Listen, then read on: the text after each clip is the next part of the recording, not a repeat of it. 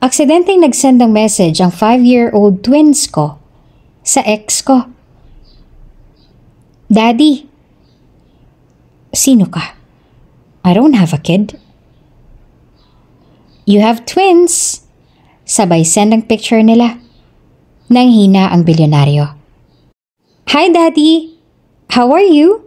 We are your twins. Chat ng kambal na sina Pio at Pia kay Dominic sabay selfie pa. Nanlaki ang mga mata at kumunot ang noon ni Dominic. Who are they? Ch, for sure, poser na naman sila. Daddy, we miss you! What the? May anak ako?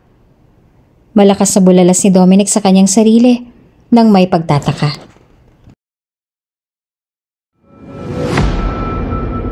Kung bago ka pa lang sa channel na ito, Ate Jane TV, huwag kalimutang pindutin ang notification bell and subscribe button. Sana po hindi naman malaking abala sa inyo ang pagpindot ng subscribe button dahil ang kapalit po nito ay ang pagsuporta para makapag-produce ng mga libreng stories sa mga channels ni Ate Jane. Maraming salamat! Dominic, as soon as possible ay kailangan nating makahanap ng mapapangasawa mo. Tuso rin ang second family ng lolo mo kaya for sure na makikipag-agawan sila sa mana. Hindi ako makakapayag na mapunta sa kanila yon dahil ikaw ang tunay na apo ko at ako ang tunay na asawa. Kaya hindi ako makakapayag na mapunta ang mana sa second family niya. Hindi Dominic, hindi. Mariin na sabi ni Lola Tere sa kanyang apo na si Dominic. Nag-iisang apo nila si Dominic at ulilang lubos na rin kaya naman kay Lola Tere na siya lumaki. Bago mamatay si Lolo June, asawa ni Lola Tere, nagkakalabuan na sila mag-asawa dahil nahuli ni Lola Tere na may iba pala itong babae tapos nabuntis pa niya. Sa sama ng loob ay nakipaghiwalay na noon si Lola Tere. Kahit ayaw pa ni Lolo June dahil mahal naman daw niya si Lola Tere. Nagkamali lang daw siya at napikot ng babae kaya nakikiusap na wag siyang iwan ito. Dahil sa pagmamahal ni Lola Tere kay Lolo June ay tinanggap niyang muli ito ng may kasamang mga kondisyon. Na hindi na siya makikipagkita sa babae niya at hindi pananagutan ang bata. Palabas ay may sakit sa puso si Lolo June kaya bago pa man siya atakihin sa puso ay nag-iwan na ito ng kasulatan na ikinagimbal ni Lola Tere. Kasama pa rin sa mana ang kanyang anak sa labas at mabibigyan lang ng mana si Dominic kung ito ay may asawa na. Hanggang sa mamatay si Lolo June ay masama pa rin ang loob sa kanya ni Lola Tere. Talagang bandang huli ay iyong pa rin kabit at anak sa labas ang nasa isip nito. Kaya ngayon ay pinipilit ni Lola Tere si Dominic na maghanap na ng mapapangasawa because that's the only way para maklaim nila ang kanilang mana. Do I really need to do that, la? Pwede naman kung si Reyna mapapangasawa ko pero ayoko naman sa kanya. And besides, ayaw pa rin naman ni Reyna na mag-settle down dahil magagalit ang parents niya at may balak pa siyang mangibang bansa. Kaya la, hindi ko alam kung posible bang mangyari ang gusto ninyo. Wala bang ibang paraan para maklim natin yung mana? Saad ni Dominic habang malaya siya nakaupo sa kanilang malaking couch. Wala nang ibang way, Dominic. Ayoko na may kahate. Tuso rin ng lolo mo dahil pwede naman sa akin na lang ipangalan lahat maging ang kumpanya pero talagang isinali pa niya ang kanyang kabit. Dapat pala hindi ko na lang siya tinanggap noon. Kung alam ko lang na ganitong mangyayari. Na ganitong isusukli niya. Ay, let me think about it la. Hindi madaling desisyon yan dahil kailangan ko pang kausapin si Reyna regarding dyan. Eh unfair naman sa kanya kung gagawa agad ako ng desisyon na hindi mo lang tatanungin ang opinion niya. She's my girlfriend and I like her. Kaya pag-iisipan ko muna. Give me some time la. Long-time girlfriend ni Dominic Serena. Ngunit noon pa man ay ayaw na sa kanya ni Lola Tere dahil sa may taglay na kaartihan talaga ang babae at may ugali ding hindi maganda. Nakikita ng matanda kung paano niya utos-utusan at hututan ang kanyang apo na si Dominic. Dahil nga mahal na mahal ni Dom Serena ay ayos lang sa kanya yon, nautos-utusan siya at maglabas ng pera para sa nobya dahil hindi niya naman kayang mawala sa kanya si Reyna kaya ginawa niya ang lahat wag lang siyang iwan ng dalaga. Hay nako Dom, Hindi mo ba nahahalata na pinaperahan ka lang naman yan? Nako, sinasabi ko sa'yo Dominic Leon. Walang magandang maidudulot sa'yo ang babaeng yan. Ayaw mo lang talagang maniwala sa akin. Kung irap-irapan nga ako sa halip na igalang o magpasipsip man lang eh. Ay nako, Dom. Better leave that girl bago pa niya tuluyang mabilog ang ulo mo katulad ng ginawa ng kerida ng lolo mo. Sakit ng ulo lang yan? Litanya ni Lola Tere. Halos araw-araw itong sinasabi sa kanya ni Lola Tere. Binabaliwala na lang niya dahil nga ganun niya kamahal ang dalaga. Tila nakakabulag at nakakabingi ang pag-ibig dahil kahit araw-araw maglitanya si Lola Tere, ay pasok na lamang ito sa kaliwa niyang tenga tapos labas sa kanan. Hay la, sige na, may aasikasuhin pa ako sa iba nating mga negosyo. At ikalma niyo nga yung sarili ninyo dahil sige kayo, lalo kayong tatanda. Sige po, mauna na ako. Pabirong sabi pa ni Dom sa kanyang lola Tere. Basta, hindi magbabago ang tingin ko riyan sa Reyna na yan. At huwag mo nang pag-isipan yung pag-aasawa na yan, ha? Hayaan mo at ako nang hahana para sa'yo. As soon as possible ay kailangan mo nang maikasal. Huwag ka nang umagal pa dahil final na ang desisyon ko. Dahil ayaw na ni Dominic na makinig pa sa sermon ay umalis na lamang siya at saka hinalikan na sa noo ang kanyang lola Tere. Baby, hindi ako papayag. Ayoko. Hindi ka pwedeng mag-asawa at magpakasal sa iba. Huwag kang makinig ng makinig dyan sa lola mong yan dahil wala namang maidudulot na mabuti sa yung matandang yon. Galit na galit siya sa akin pero wala naman akong ginagawang masama sa kanya. Kung ayaw niya sa akin, eh wag naman niyang idamay ang relasyon natin. If you really love me, baby, hindi mo siya susundin. Huwag mo siyang susundin. Sa akin ka lang. Maarteng pagsusumamo ni Reyna.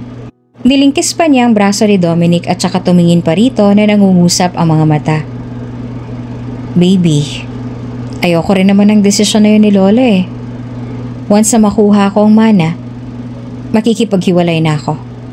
Eh syempre, ikaw ang mahal ko baby kaya for sure nagagawin kong kasalang yun without feelings.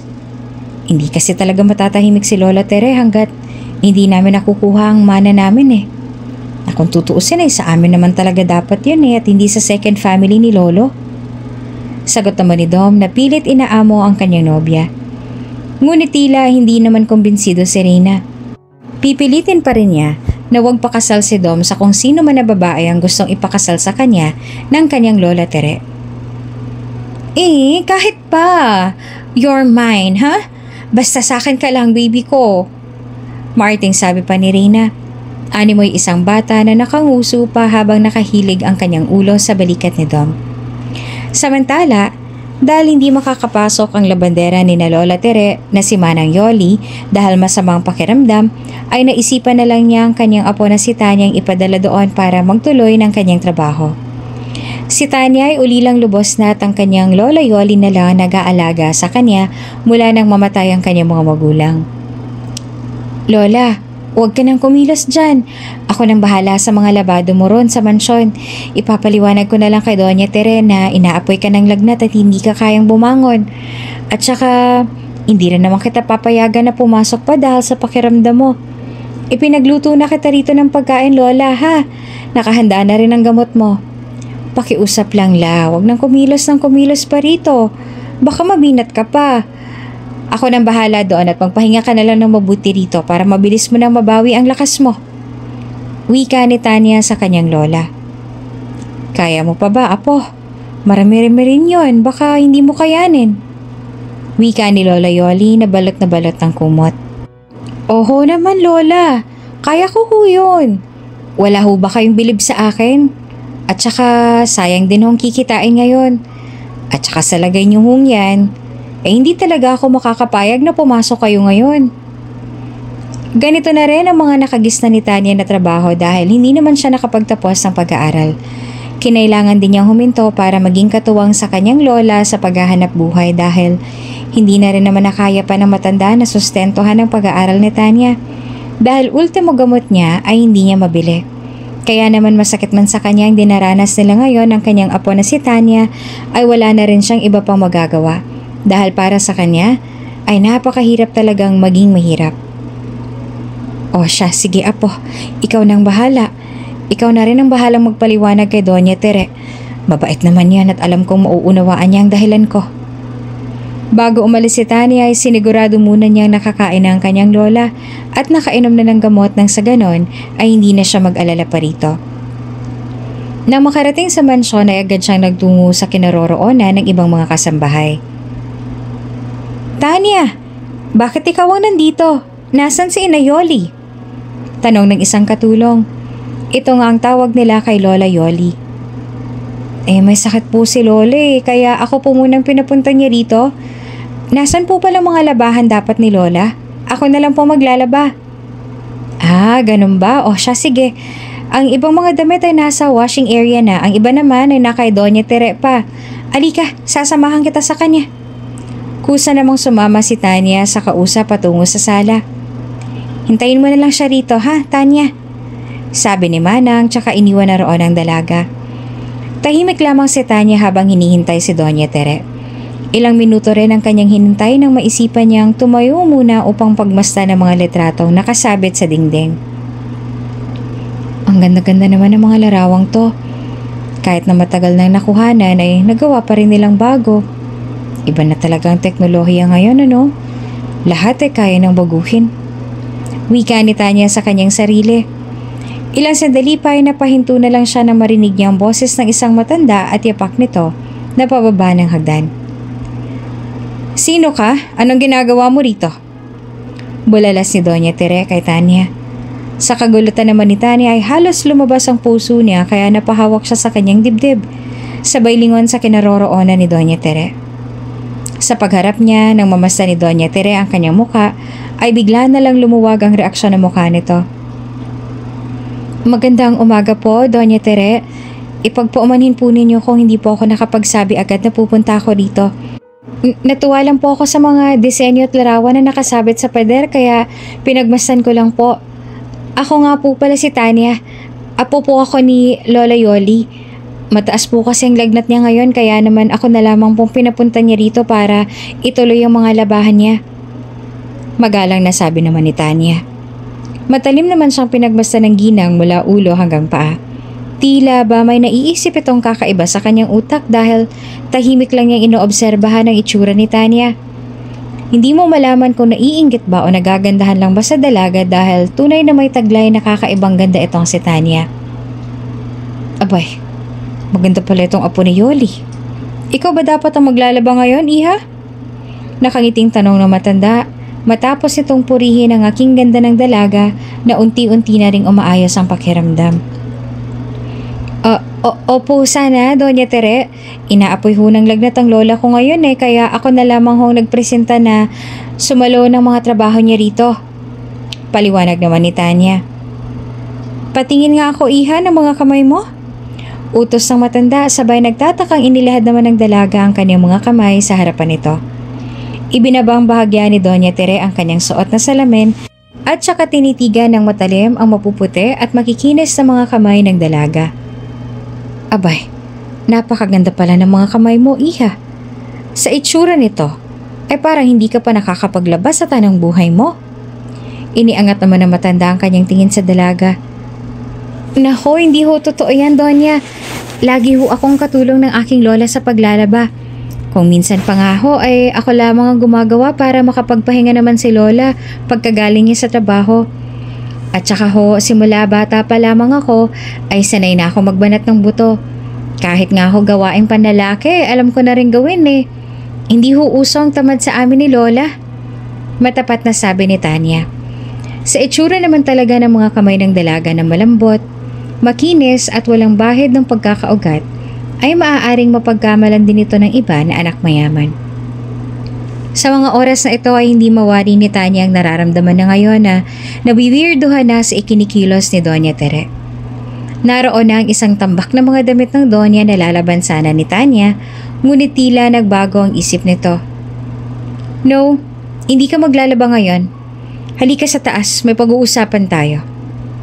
Hindi na hinintay pa ni Doña Tere ang isasagot sa kanya ni Tanya. Bagkos ay dali-daling nagtungo ito sa taas ng may beranda. Hindi naman mawari ni Tanya kung susunod ba siya o hindi dahil unang-una ay ngayon pa lang niya talaga makakaharap ng personal ang matanda kaya hindi niya pa talaga ito nakikilala. At pangalawa, ay wala siyang ideya kung ano ang pakay sa kanya ng matanda at kung bakit biglang nagbago ang isip nito na paglabahin siya ngayon which is iyon naman talaga ang ipinunta niya roon. Pero dahil muling sumigaw si Doña Tere mula sa ikalawang palapag, ay kumilos na rin siya at inihakbang niya na ang kanyang mga paa. O- opo, Doña. Nariyan na po. Malakas sa sagot ni Tanya at nagtungo na sa taas kung nasaan ang ginang. Sa haba ng hagdan na hindi niya na malaman kung saang pinto ba papasok si Doña Tere. Mas napamangha si Tanya ngayon dahil malawak ng ibaba pero mas malawak pa pala itong taas. Marami ang kwarto dito at sa may dulo ay tanaw niya ang isang malaking babasaging pinto kung saan nasa loob nito si Doña Tere. Sinasalampad pa ng malakas na hangin ang malaki at malambot na puting kortina na nakasangga naman sa may babasaging pintuan na yon. Marahan lumakad si Tanya papalapit doon at tanging doon lamang nakapako ang kanyang tingin. Kinakabahan kasi siya at nahihiwagaan sa kung ano man ang biglaang pakay sa kanya ng matanda. Nang marating niya na ang harap noon ay marahan niya nang itinulak ang malalaking babasaging pintuan. Nakangiti naman sa kanya si Doña Tere na kasalukuyan ang nakaupo sa may gitna ng upuan sa may mahabang table. Maupo ka, Tanya. Magiliw nitong utos sa dalaga. Sumunod naman kaagad si Tanya. Pero ang mga mata niya ay nandun naman nakapako sa may bintana na babasagin din at mula sa kinatatayuan niya ay kitang-kita ang buong view ng kanilang lugar. Napapaawang na nga lamang ng kanyang bibig dahil talagang walang katapusan ng paghanga niya sa mansyon na iyon. Sa isip niya ay nasa ikalawang palapag nga matatagpuan lahat ng magagandang bahagi ng mansyon na ito. Are you okay, Tanya? Tanong ni Doña Tere. Nang bumalik sa ulirat si Tanya ay tumingin na ito sa Doña at utal lang sumagot. O, opo, okay lang po ako, Doña Tere. Hindi ko lang po maiwasan na mamangha sa kabuuang ganda nitong bahay ninyo. Seryosong sagot naman ni Tanya. Matipid namang umiti si Doña Tere. Hayaan mo at pasasaan ba eh, dito ka na rin titira. Makahulugang sabi ng Donya na ikanalaki naman ng mga mata ni Tanya. Po? Dito titira? A- ano pong ibig niyong sabihin? Nagugulahang tanaw ni Tanya. Huminga muna ng malalim si Doña Tere bago tuluyang sabihin ang kanyang pakay. Tanya. Actually, this plan of mine is unexpected. Noong isang araw pa ako isip ng isip kung sino bang dapat na mapangasawa ng aking apong si Dominic. I think, hindi nagkakalayo ang edad ninyong dalawa. Kaya sa tingin ko, ay ikaw ang dapat na maikasal sa kanya. Kalmadong sabi ni Doña Tere. Lalong nalaki naman ang mga mata ni Tanya sa kanyang narinig. Nagtungo lamang siya doon para maglaba pero ngayon, ay may ganito na palang balak ang Donya na pag-asawahin sila ng apo nitong si Dominic. Gusto niya pa sanang umalma kaya tumayo na muna siya. Donya Tere, pasensya na po ah, pero hindi ko po alam ang sinasabi ninyo. Ang pakay ko lang po naman kaya ako nagpunta dito ay para maglaba at ituloy ang trabaho ni Lola. Marami pa ho akong pangarap para sa aming dalawa kaya Ipagpaumanhin niyo po at hindi po ako handa dyan sa gusto niyo mangyari. Bababa na po ako. Tatalikod na sana si Tanya nang bigla siyang mapahinto nang marinig ang dalawang salita. 20 million. Seryosong sabi ni Doña Tere. Namilog ang mga mata ni Tanya. Para sa naman kayo ang 20 million na sinasabi niya? At saka, tama bang naririnig ko? 20 million? Naku, nahihibang na sigurong matandang to. Sabi pa sa isip ni Tanya. Para maliwanagan ay muli siyang humarap sa ginang. 20 million? Para saan ho 20 million? Taas kilay na tanong ni Tanya. Tanya, maupo ka muna. Alam kong kakailanganin mo ang offer kong to. Wika ni Doña Tere. Sumunod naman kaagad si Tanya dahil alam din naman niya sa kanyang sarili na kailangan niya ito. Donya Tere, ano po bang gusto niyong mangyari? Seryosong tanong naman ni Tanya sa matanda. Maupo ka na muna para maipaliwanag ko sa'yo at nang maunawaan mo ng maayos.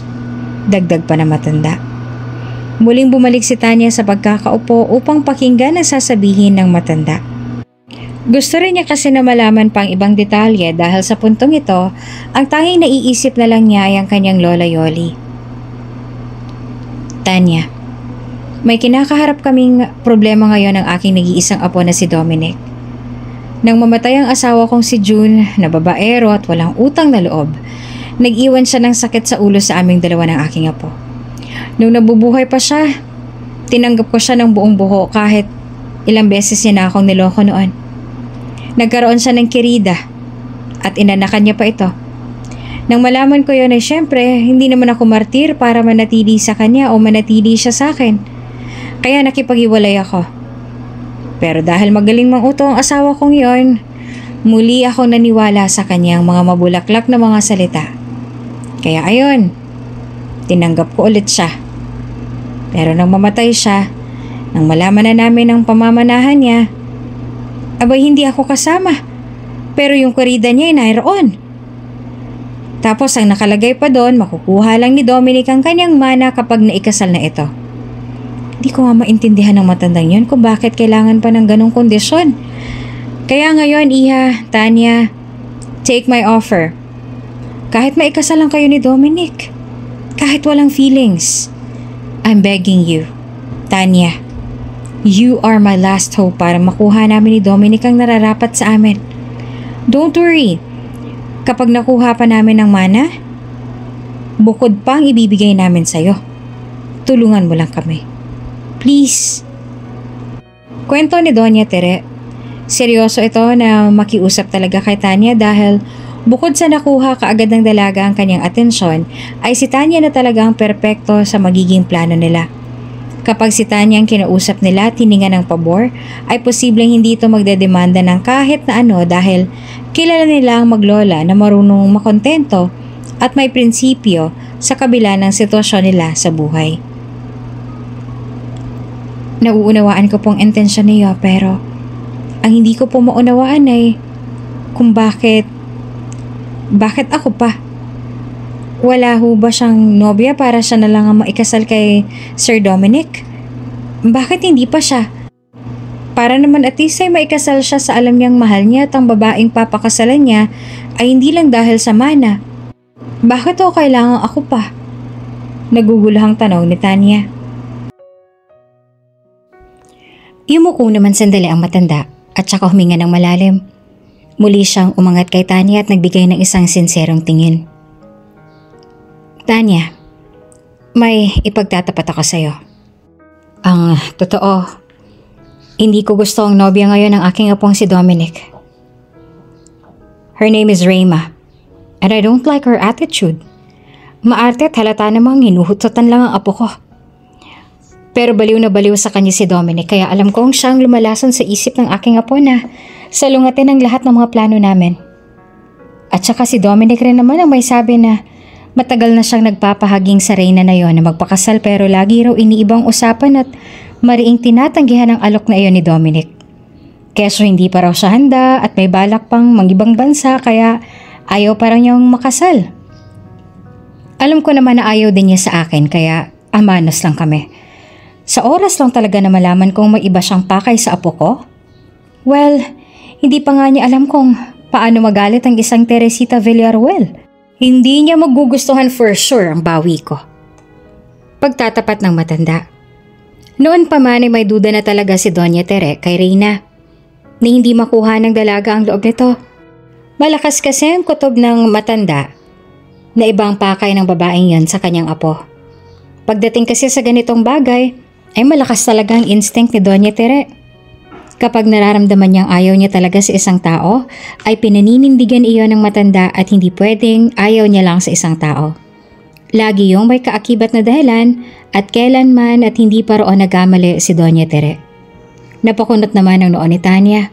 Nauunawaan niya ang sinasabi ng matanda. Wala rin naman siya sa posisyon para manghusga o magbigay ng komento dahil hindi naman niya personal na kakilala si Reyna. Maging si Doña Tere ay hindi pa nga rin niya nakikilala.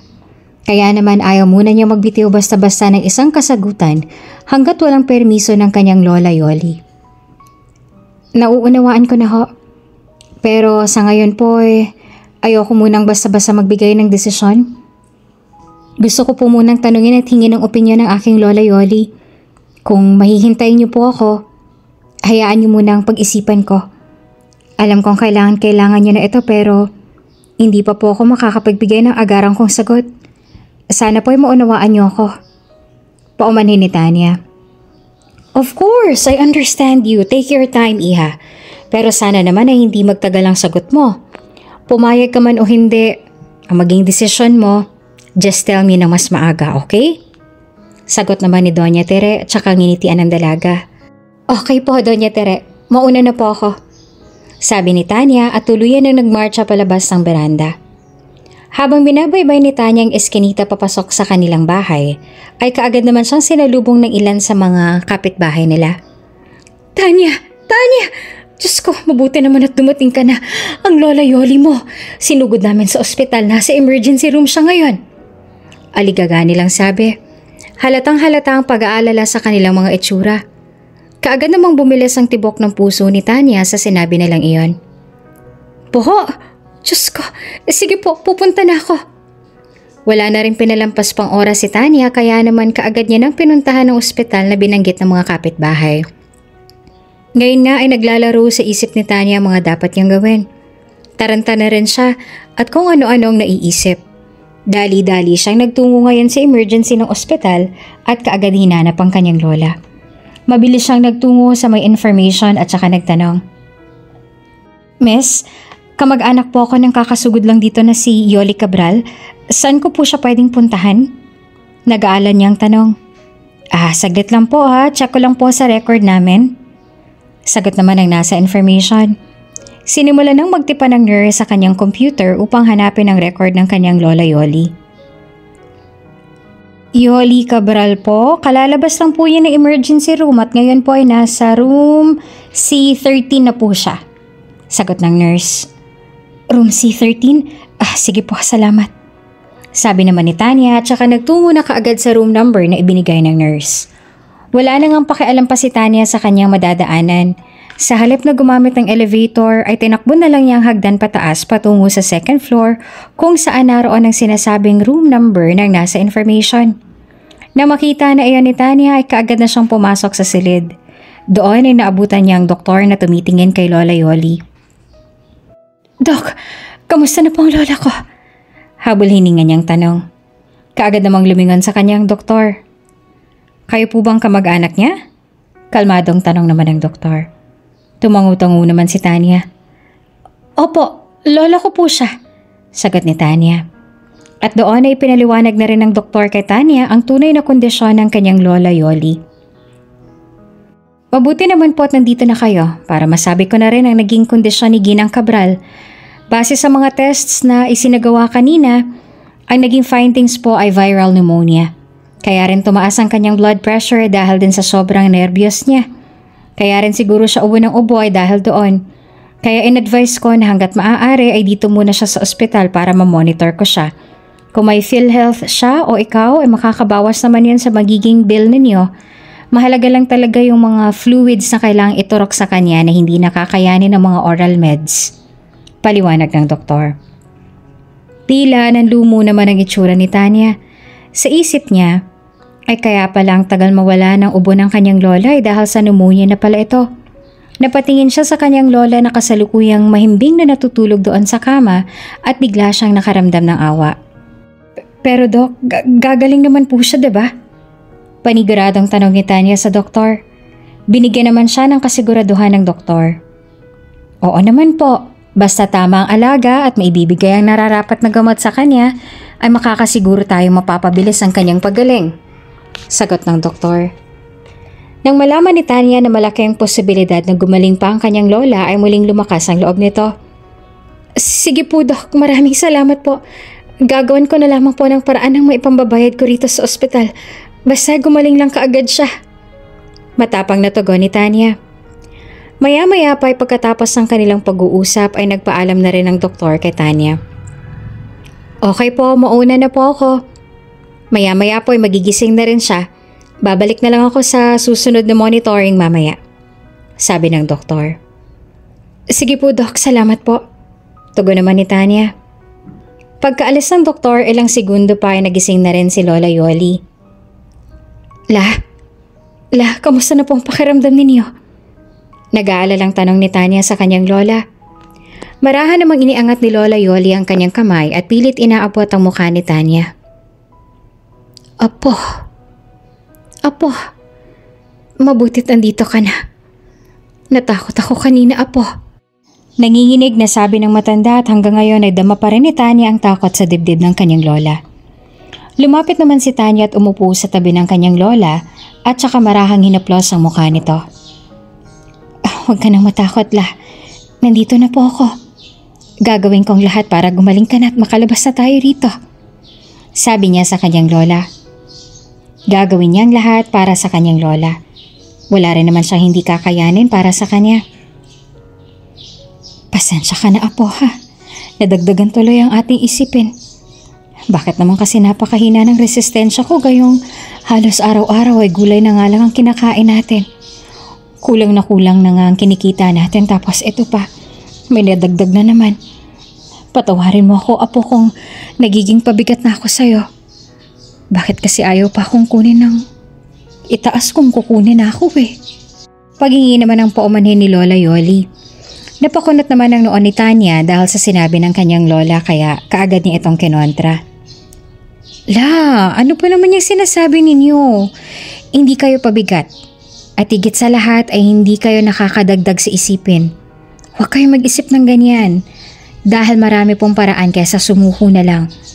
Hanggat humihinga ako la, gagawin kong lahat para sa inyo.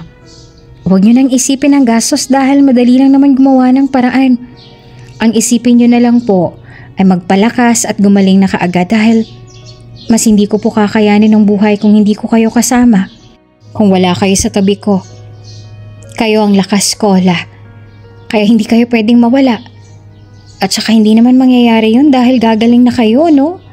Magaling ang doktor na may hawak sa inyo kaya sigurado akong hindi rin tayo magtatagal dito. Paninigurado naman sa kanya ni Tanya. Kalmado nga lang ang reaksyon ng mukha ni Tanya dahil ayaw din niyang makitaan siya ng matanda ng panghihina ng loob at takot. Kaya talagang tinatagan niya ang kanyang loob. At kahit na mababaw ang kanyang luha sa mga ganitong sitwasyon, ay pinilit pa rin niyang pigilan ito sa pagbatak. Maraming salamat, Apo. Maraming maraming salamat sa pagmamahal mo kahit na matanda na ako hindi mo pa rin ako pinabayaan. Buong pagpapasalamat naman ni Lola Yoli at ngumiti na lang sa kanya si Tanya. Maya-maya pa ay nag-usisa naman ng matanda sa naging pagpunta ng apo sa mansyon ni na Doña Tere. Siya nga pala, kamusta pala ang paglalaba mo kanina? Nagpatulong ka ba kay Nafe? Marami-rami din kasi yon. Usisa ng kanyang lola na ngayon ay unti-unti na rin kumakalma. Sandali namang natahimik si Tanya at nag-isip. Ayaw niya nang mag-isip pa ang kanyang lola at madagdag pa ito sa kanilang problema ngunit walang choice si Tanya dahil hindi niya magagawa ang offer ni Doña Tere kung walang permiso at opinyon ng kanyang lola Yoli. Kaya naman, nilakasan na rin niya ang kanyang loob na sabihin dahil ayaw din naman niyang maglihim sa kanyang lola. La, ayoko na sana na mag-isip pa kayo pero... Pero hindi po kasi ako makakagawa ng isang desisyon kung walang opinyon ninyo. Panimula ni Tanya. Napakunot naman ang noon ng matanda. Ha? A- anong ibig mong sabihin? May nangyari ba? Nagtatakang tanong ni Lola Yoli. Ah, uh, sa katunayan po la, hindi po ako pinaglaba kanina ni Doña Tere. Pag-amin ni Tanya. Lalo namang bumakas ang pagtataka sa reaksyon ng mukha ni Lola Yoli. Ha? Bakit naman? Nagalit ba siya sa akin? Nag-aalalang tanong ni Lola Yoli. Kinontra naman kaagad iyon ni Tanya. Hindi, hindi po la. Hindi siya galit. Sa katunayan po ay may inalok lang siya sa akin. Sabi niya. Ano naman yon? Tanong naman ng kanyang lola at doon ay inamin na lahat ni Tanya. Kinausap niya po kasi ako doon sa may veranda nila. Isang masinsinang usapan po. Nagtaka nga po ako kanina dahil biglaan talaga yon. Pagkakita niya sa akin, tinitigan niya ako mula ulo hanggang paa tapos niyaya niya na ako sa may beranda dahil daw may mahalaga raw kaming pag-uusapan. Nang maikwento lahat ni Tanya sa kanyang lola ay sandali namang natahimik si Lola Yoli. Iniisip niya ang naging offer na yon at kung ano bang naging sagot doon ni Tanya. Oh, ay anong naging sagot mo? Utal na tanong ni Lola Yoli. Ang sabi ko po ay pag-iisipan ko muna dahil ayokong basta-basang magdesisyon kung walang opinyon ninyo. Seryosong sagot naman ni Tanya. Bumuntong hininga naman si Lola Yoli. Hindi niya lubos akalain na si Tanya pang mapipili ng Donya na gamitin para sa kanilang plano na makuha ang kanilang mana. Although wala naman siyang nakikitang mali doon dahil unang-una ay babayaran nila ang pakiusap kay Tanya at wala naman silang masamang intensyon na ikakasakit ng kanyang apo. Ngunit ang naiisip niya ay ang magiging epekto nito at kondisyon ng puso ni Tanya. Mabait at maginoo si Dominic at halos lahat ay nahuhumaling sa kanya kaya hindi malayong hindi rin ito magustuhan ng kanyang apong si Tanya. Pero dahil sa layo ng agwat ng pamumuhay nila, ay napaka-imposible na magustuhan siya nito.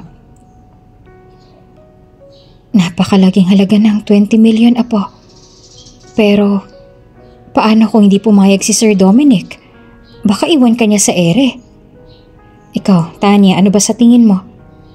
Tanong ni Lola Yoli at wari ba'y pinapaubaya na kay Tanya ang magiging desisyon nito dahil unang-una ay siya naman ang ikakasal kay Sir Dominic. Kanina ho habang nandun ako, mas lamang sa sarili ko yung ayaw kong tanggapin yung offer pero ngayon, ngayon na kailangan na nating mas malaking halaga. Tatanggapin ko na siya, Lola. Pwede naman daw ipawalang bisa agad ang kasal kapag ayos na lahat, la. Kaya hinihingi ko pong permiso ninyo na payagan niyo ako. Sabi ni Tanya sa kanyang lola. Dala-dala ni Tanya ang ilang mga katanungan sa kanyang isipan. Sabi ng isip niya, kailangan niya yon. Dapat niyang tanggapin yung offer dahil wala naman siyang ibang pagkukunan ng pera na ipambabayad nila sa ospital. Kailangan niya yon dahil kailangan yon ng kanyang lola Yoli. Ngunit sabi naman ng puso niya, ay para bang hindi niya maatim na magpakasal sa iba at isuko ang kanyang dignidad kahit na hindi naman nila gusto ni Dominic ang isa't isa. Para sa kanya, ang kasal ay isang sagradong bagay na pinapangarap ng lahat ng mga kababaihan at isa na siya doon. Pero magpaganon pa man, sa punto ng buhay niya ngayon ay mas lumalamang ang kanyang isip kesa sa kanyang puso kaya kailangan niya nang hingi ng opinyon ng kanyang lola. Sa sandaling yon ay huminga na ng malalim si Lola Yoli at saka tumingin sa kanyang apo. Kung anong sa tingin mo apoy, doon na rin ako. Maluwag na sagot ni Lola Yoli. At base nga sa reaksyon ng mukha ni Tanya, ay pumapayag na siya sa offer. Hiningi lang niya talaga ang permiso ng kanyang lola. Nung gabi ding yon dahil kailangan na ni Tanya na bumili pa ng gamot ay bumalik ng muli siya sa mansyon para ipaalam kay Doña Tere ang kanyang naging desisyon. Doña Tere, bungad ni Tanya sa matanda nang pagbuksan siya nito ng pinto. Oh, Tanya, gabing-gabi na ay napasugod ka. Kanina lang ang magkausap tayo, huwag mo sabihin sa akin na may desisyon ka na. Sunod-sunod na sinabi ni Doña Tere. Matapang na tumango naman si Tanya, tumingin ng diretso sa mga mata ng Doña at sumagot. Opo, Doña Tere. Iyon pong pakay ko kung bakit po ako nandito. Nakapagdesisyon na po ako. Lakas loob niyang sabi. Dahil medyo pribado ang bagay na yon ay doon na muli sila sa beranda nagtuloy ng pag-uusap. Na makaupo na sila ay doon na nag-usisa si Doña Tere. So, maaari ko bang malaman ang naging desisyon mo? Tanong ng Doña. Huminga muna ng malalim si Tanya at saka binigay na ang kanyang kasagutan. Ang desisyon ko po ay pumapayag na po ako. Pumapayag na po akong maikasal kay Sir Dominic. Buong loob na sabi ni Tanya. Buo na ang kanyang loob para sa kanyang lola Yoli.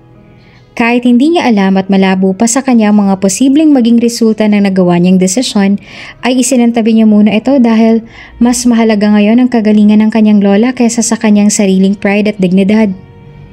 Makikita naman sa reaksyon ng mukha ni Donya ang kanyang galak na nararamdaman sa naging desisyon ni Tanya. Nagagalak ang kanyang puso dahil sa wakas ay maisa sa katuparan na rin ang matagal na nilang plano para sa mana na dapat naman talaga ay para sa kanila. Ayaw na nga sana pang maghabol ng ginang dahil kung tutuusin, ay mayaman na rin naman talaga sila ngunit hindi siya makakapayag na ang kirida lamang ang makikinabang sa lahat ng yon. Kapag ibinigay ni iyon ay parang pinatunayan na rin niya na talo siya at hanggang sa huli ay nanalo pa rin ang kabit kesa sa kanya na orihinal na asawa. Wise decision. Hintayin mo muli kong pagpatawag sa'yo. Kakaasapin ko na si Dominic tungkol dito. Pero huwag ka mag-alala dahil sigurado naman akong papayag ang aking apo. Thank you, Tanya. Nagagalak na sagot naman ni Doña Tere. Bago umalis si Tanya ay inubutan na siya ng gilang bilang paunang bayad dahil alam niyang kailangan-kailangan niya ito ngayon dahil sa kanyang lola na may sakit. Nang makaalis ang dalaga ay siya namang dating ni Dominic. Po, sa apo ng labandera natin yung ako gustong magpakasal? Nagugulhang tanong ni Dominic sa kanyang lola at tila hindi maipintang itsura ng kanyang mukha. Hindi niya na talaga maintindihan ang gustong mangyari ng kanyang lola kaya naman napapamasahe na lang siya sa kanyang sentido dahil pinapasakit na ng kanilang manang iyon ang kanyang ulo. Oo Dominic, at pwede ba wag ka nga munang manghusga dahil kung titingnan mo siya, nako hindi siya mukhang labandera iho. Dahil sa taglay niyang ganda na mas maganda pa rin sa reyna na yan. At saka may class naman ng isang to kesa naman sa nobya mo kahit na mahirap lang siya. Tanya ang kanyang pangalan. At sigurado akong hindi ka mahihirapan na magustuhan siya. Paliwanag naman ni Doña Tere. Ngunit kahit ano pang ang paliwanag ng kanyang sabihin, ay hindi pa rin kumbinsido si Dominic. You're unbelievable, Lola. Hindi ko maintindihan kung ano ba talagang tumatakbo riyan sa utak ninyo. Sabi niya sa kanyang lola. At ngayon, ay seryoso na siya. Huminga naman ng malalim ang matanda at saka nagbuga ng isang mabigat na hangin. Nilapitan niya ang kanyang apo at kasalukuyang nakaupo sa may couch at nakamasid sa labas ng bintana. Siya na rin nagmasahe sa sentido ng kanyang apo at saka nagsalita. Iho, Dominic, hindi mo pa rin ba naiisip? Pauna niyang sabi. Kaya sa isang labandera kita ipapakasal, ay para wala na tayong maging problema. Para hindi na siya maghabol at magdemand dahil sa tingin ko ay sapat ng 20 milyon na alok ko sa kanya Aba kung sa iba yun ay siguradong sinasamantala na nun ang ating kabutihan. Kaya Dominic, kailangan na nating isagawa ang kasalan as soon as possible. Kung yung nobya mo pa rin ang nasa isip mo, please Dom, isantabi mo muna siya just for now. Kahit ngayon lang. Kahit ngayon lang ay wag mo muna siyang isali. Mariing paliwanag ni Doña Tere. Napapikit na lang si Dominic dahil talagang siyang naiipit sa sitwasyon. Kino-question nga niya pati ang kontrata maging ang kanyang lolo na sumakibilang buhay na ay hindi na rin niya maiwasan na questionin. Ay la, bakit pa kasi kailangan pang may kondisyon? Ako tuloy ang naiipit ngayon. Pero sige, para matapos na rin to. Para mapasa na kaagad sa pangalan kong yaman at mana. Pumapayag na ako. Pumapayag na ako maikasal sa Tanya na yan. Kung sino man siya. Sabi ni Dominic na halata namang napipilitan lamang. Ikinatuwa namang kaagad yun ni Doña Tere at abot-abot din ang pasasalamat sa kanyang apo. Iyon lang naman kasi ang kailangan ng ginang. Ang pumayag na si Dominic para matapos na rin at matigil na rin siya sa kanyang pangulit. Talaga apo? Naku hindi mo alam kung gaano mo ako napasaya. Maraming salamat Dominic. Don't worry. I'm not doing this for my own good. Para sa'yo lahat ng to para sa magiging pamilya mo. Matanda naman ako at wala pang kakayahang gawin pero hanggat tumihinga ako, mahina man ang pisikal na pangangatawan ko, patuloy ko pa rin ipaglalaban ang dapat ay para sa atin. Kaya Dominic, sana'y nauunawaan mo si Lola ha? Para sa'yo lahat ng mga ginagawa ko. Kulang na lang ay paulan na ng yakap at halik ng ginang ang kanyang apo na si Dominic dahil sa wakas ay nararamdaman niya na na malapit na sa kanilang mga kamay ang kanilang tagumpay. I understand. Matipid na sagot ni Dominic. Napangiti na nga lang din siya nang mamastan niya ang mga ngiting yon ng kanyang lola sa kanyang mga labi. Sa katunayan nga ay naaawa pa rin siya rito dahil nga sa mga nagawa sa kanya ng kanyang lolo. She sees her Lola Tere as a strong woman. Kahit nasasaktan na ay hindi pa rin titigil makuha ang nararapat na para sa kanya. Sa yaman ni Doña Tere Alam naman niyang wala pa sa kalingkingan noon ang mana na makukuha niya. Kaya pumayag na rin siya sa gusto nito para magkaroon na ng kaluwagan sa puso ni Doña Tere at katiwasayan ng isip na maipaglaban ang sa kanya. Na kahit man lang doon ay manalo ang kanyang lola sa kabila ng mga nagawa sa kanila ng kanyang lola at kerida nito. Kaya tinanggap na rin niya iyon ay para maipagtanggol na rin ang kanyang lola laban sa mga yon kaya susuportahan na lang niya ang mga gusto ng matanda. Samantala, ng sumunod naman na araw, dahil kailangan ng maisagawa ang kasalan ay tinakda na ni Doña Tere ang pagpapakasal kina Tania at Dominic. Tumawag na rin ito ng judge at doon na lamang sa kanilang beranda ginanap ang kasal. Naroon din si Reyna na talaga namang inimbitahan din ng ginang para lang sakta ng kalooban nito. Bago magsimula ang seremonya ay nag-usap muna sila Dominic at Reyna sa isang silid. Ha? Akala ko ba'y kasal lang? Kailangan mo rin siyang anakan? Taas kilay na tanong ni Reyna kay Dominic. Lalo ngang nanggalaiti sa galit si Reyna dahil ang usapan lang naman noon ay kasal tapos ngayon ay kailangan pala nilang magkaanak. Yun ang pinaliwanag ng kanilang attorney. Kita naman sa mukha ni Dominic ang guilt na nararamdaman niya. Yes, Reyna. Iyon ang nakalagay sa kontrata. Don't worry, wala namang mangyayari sa amin dahil nagpa-sperm freezing na ako. Ituturok lang naman yan sa kanya. Paninigurado ni Dominic kay Reyna. Pero kahit sperm freezing pa yon ay ayaw pa rin talagang pumayag ni Reyna. Hirap pa rin siyang kumbinsihin ang kanyang nobyo. So, paano kung mabuo? Paano bata? So ako ang lalabas na kabit ngayon? Mga katanungan ni Reyna. Patuloy naman ang pag-amo sa kanya ni Dominic. Baby, Isisilang lang niya ang baby dahil yun ang kailangang mapatunayan namin sa attorney. But don't worry. Pag naisilang niya na ang baby ay kukunin ko agad sa kanya iyon. Para tayong mag-alaga. Ikaw ang magsisilbi niyang ina. Sabi pa ni Dominic. You know Dom, I don't know if makakaya ko pa tong mga kondisyones mo. Lahat na lang ay tinanggap ko kasi kailangan mo. Buong buhay mo, dyan ka na lang lagi nakikinig sa lola mo na halata namang ulyanin na kaya ganyan na mag-isip. Ikaw naman tong uto-uto ay sumusunod agad. Bago pa man nga matapos ang salita ni Reina, ay kaagad na yung tinapos ni Dominic. Enough! Enough, Reina! She's still my lola, okay? Kaya huwag mo siyang pagsasalitaan ng ganyan. Andito na to. Wala na tayong magagawa kundi ang tanggapin ang lahat. Seryosong sabi naman ni Dominic. Natahimik lang si Reina na tila napahiya sa kanyang inasta. Wala naman silang kaide-ideya na kanina pa palang nakikinig si Tanya sa may labas ng pintuan. Narinig niya ang lahat at hindi niya maaaring makalimutan ay ang napag-usapan nila.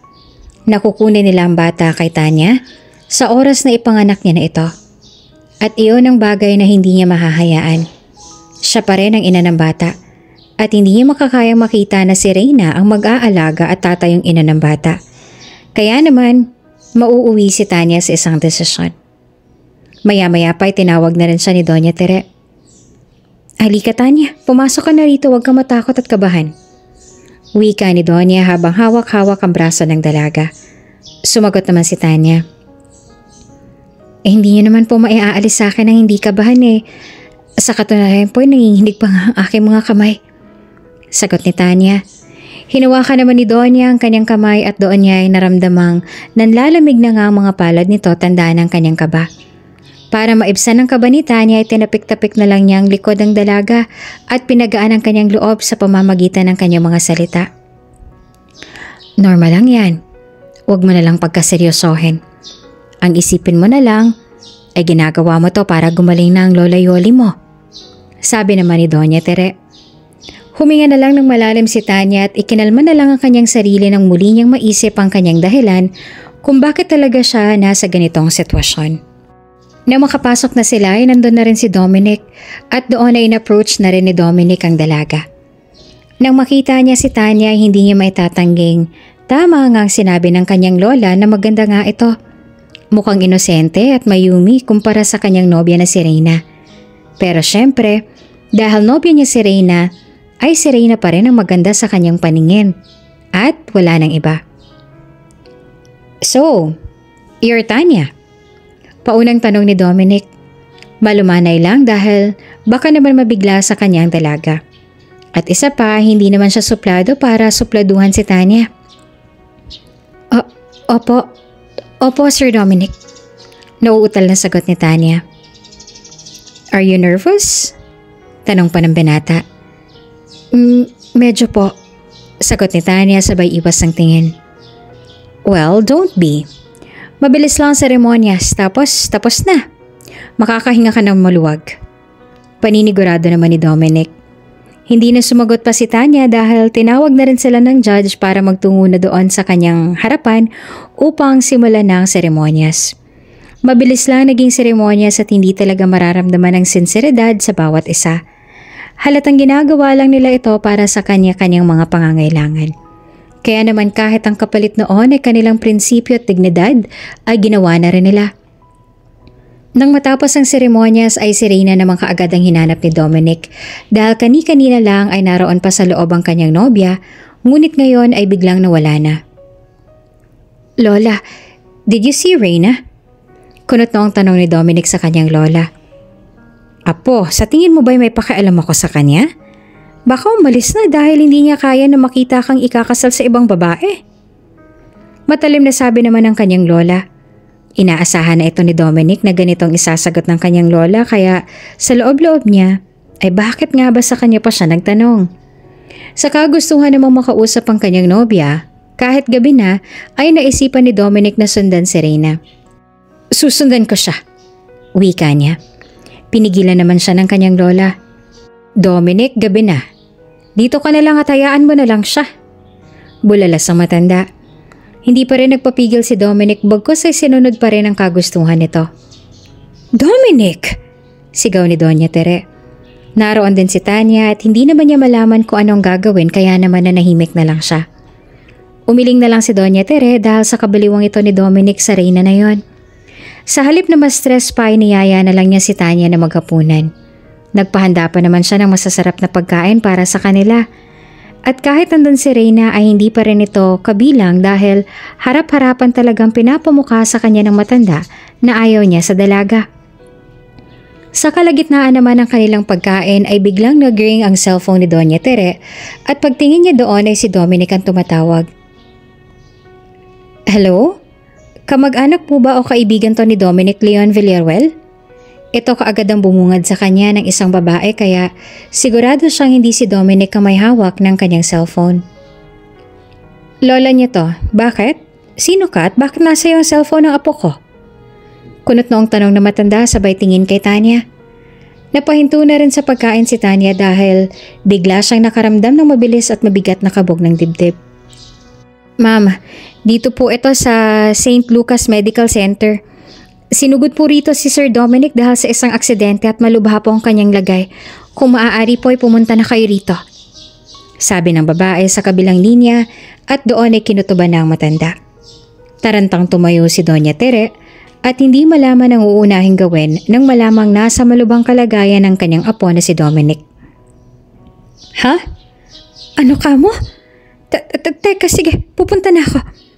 Tarantang sagot ni Doña Tere. Tumayo na rin si Tanya at doon ay nagtanong na siya. Doña Tere, ano pong nangyari? Nag-aalalang tanong ni Tanya. Naaksidente si Dominic at malubha raw ang lagay niya ngayon. Halika, samahan mo ako. Mangiyak-ngiyak naman na sagot ni Doña Tere at doon ay nagpasama na siya kay Tanya. Halos ipaharurot na ng ginang sa kanyang driver ang sasakyan patungo sa ospital na kinalagakan ni Dominic. Hindi na rin siya makausap dahil aligaga at aburido na siya sa patingin-tingin sa may bintana.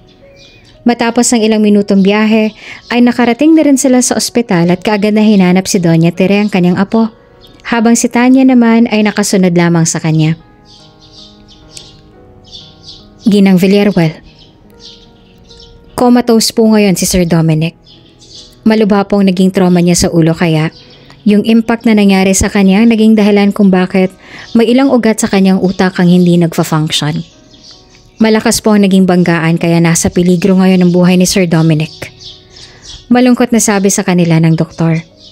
Kasalukuyang nasa ICU ngayon si Dominic at walang malay.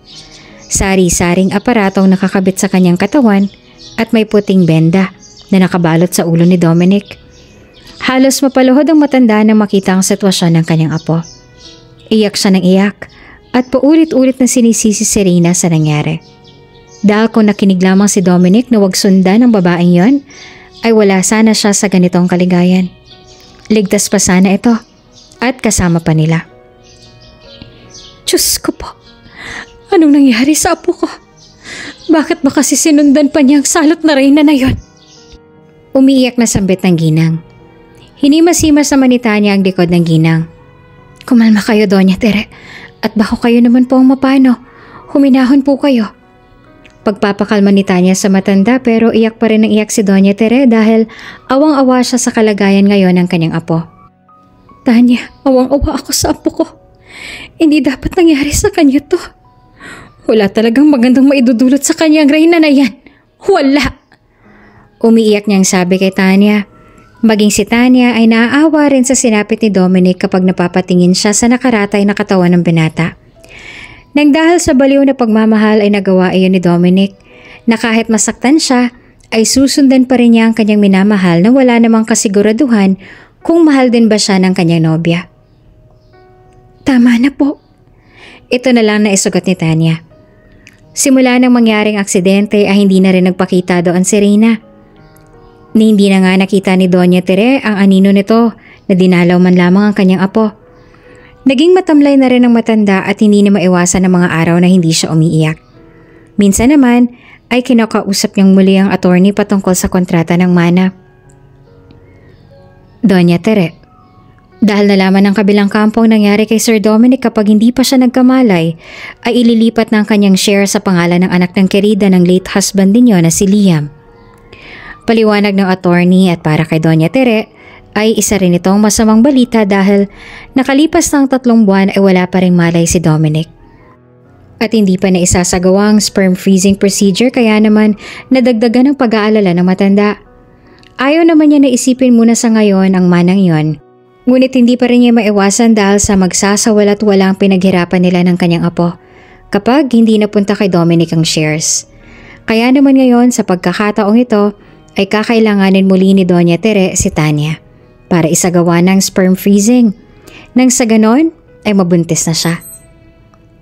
Attorney, sa tingin mo ba, dyan sa kalagayan ng apo ko ngayon, sa tingin mo ba ay magkakamalay siya kaagad sa lakas ng impact ng aksidente na nangyari sa kanya? Attorney naman, maawa ka naman, baka naman may iba pang paraan para makuha namin ang gintik na manang na sa amin naman talaga dapat eh. Mariing sabi ni Doña Teresa, attorney, Galit na galit talaga siya at hindi niya kayang magtimpe sa kerida ng kanyang asawa. Ngunit natahimik naman ang ginang nang muling magsalita ang kausap ng attorney. May isa pa pong paraan para makuha niyo ang mana ma'am. Wika niya. Ano yon attorney? Tell me. Kunot noong tanong naman ng ginang.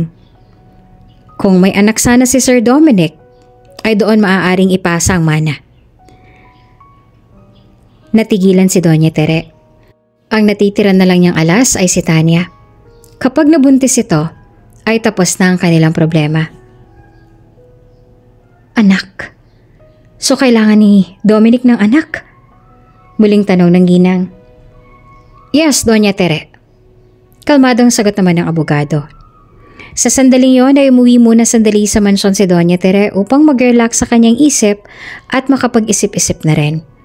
Pinapunta na rin niya doon si Tanya upang kausapin patungkol sa isasagawang procedure sa kanya.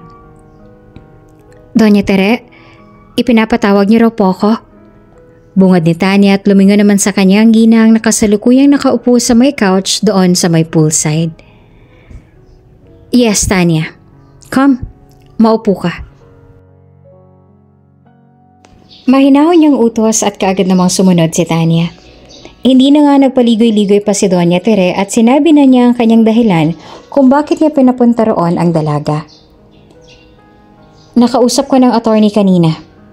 At ang sabi niya, sadang matanda at huminga muna ng malalim.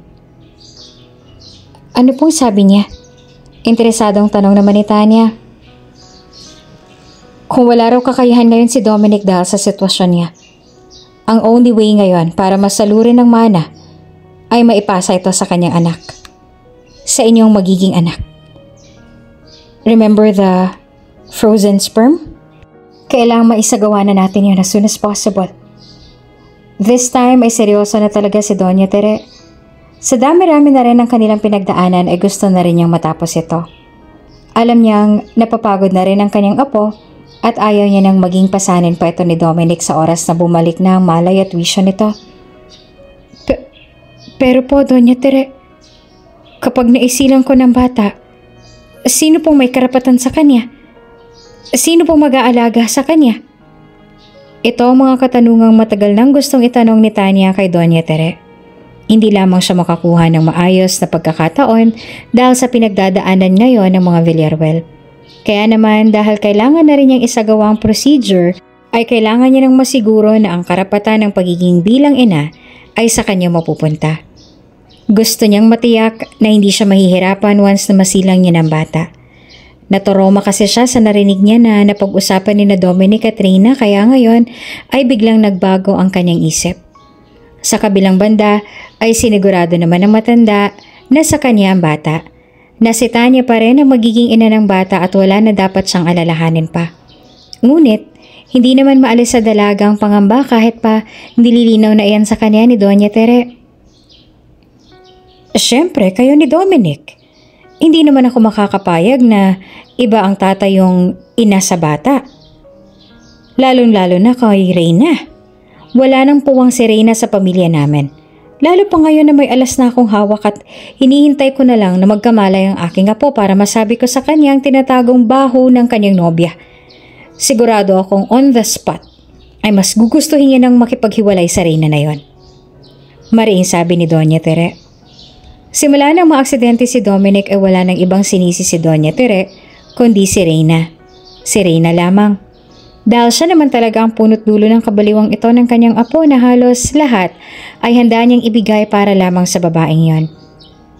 At dahil doon ay naisipan ni Doña Tere na paimbestigahan si Reyna sa kanyang mga tao. At doon din niya nalaman at napatunayan na may tinatago talaga itong baho na pasisingawin niya sa oras na magising na si Dominic. Habang si Tanya naman ay wala na ring ibang choice kundi ang pumayag na para rin matapos na ang kanyang responsibilidad sa maglola dahil maging siya ay may naiisip na rin na susunod na hakbang na gagawin. Kung ganun po ay sige po, pumapayag na po ako. Kailan po ba natin isasagawang procedure? Matapang na sabi ni Tanya. Matapos ang dalawang araw ay matagumpay ding na isagawa ito. Naramdaman na ni Tanya ang epekto nito sa kanyang katawan kaya naman ang advice sa kanya after one week ay mag-pregnancy test na siya kung nabuo nga ang isinagawa nilang procedure. Ngunit wala pa mang isang linggo ay nagawa na yun ni Tanya. At kahit pa ulit-ulit niyang ulitin ang tests ay iisang resulta. Ang lumalabas, positive, buntis na siya. Buntis na si Tanya. Dahil sa takot na kunin sa kanya ni Reyna at Dominic ang kanyang anak, ay inilihim niya ito sa kanila. Pinili niyang itago ang tunay na resulta at dayain ang result para palabasin na negative ang mga resulta ng tests. Bago pa man nga ibigay at ipakita ni Tanya ang mga pregnancy tests na may negative result, ay isang himala na nagkamalay si Dominic. Dominic, may malay ng apo ko. Tarantang sabi ni Doña Tere. Tumawag ka agad siya ng doktor para suriin siya at nang matapos ay ipinaalam na rin niya iyon kay Tanya. Wala ngang mapagsidlan ng gala katuwa na matanda dahil sa wakas ay may malay na rin ang kanyang apo na si Dominic. Tanya, may malay na si Dominic. Masaya niyang pagbabalita sa dalaga. Nagbigay naman ng isang matipid na ngiti si Tanya. Ah, natutuwa po ako malaman yan, Doña Tere. Saad niya. Maya-maya pa ay huminga na siya ng malalim at tinawakan ng kanyang kamay ng matanda. Ah, uh, Doña Tere, maaari ko ho ba kayong makausap? Masinsinang pag-uusap? Seryosong tanong naman ni Tanya kay Doña Tere.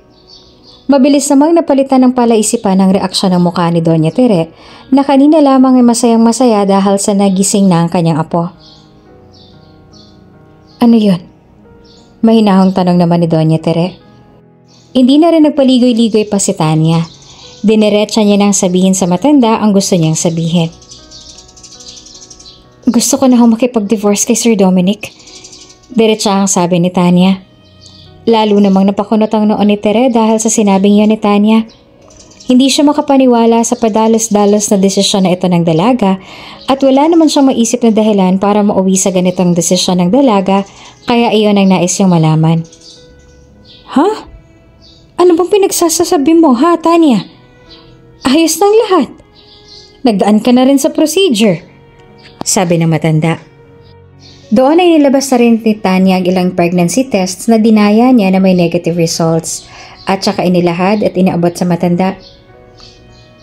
Ito po. Negative po ang result ng tests ko kanina. Ilang beses ko pong inulit yan pero negative pa rin pong lumalabas. Patawarin niyo ako, Doña Tere, pero babalik na po kami ng aking lola sa probinsya. Total naman po ay gising na si Sir kaya makukuha niya na po ang mana. Huwag kayong mag-alala. Bago ako tuluyang makipaghiwalay, ay sisiguraduhin ko muna na nasa inyo ng mana. At kapag nangyari yon, aalis na ho ako. Sabi naman ni Tanya. Hindi niya gusto ang pagsisinungaling na ito na ginagawa niya dahil ni minsan ay walang ipinakitang masama sa kanya matanda. Naging mabait nga sa kanya at laging pinaparamdam ang pagkagusto niya rito.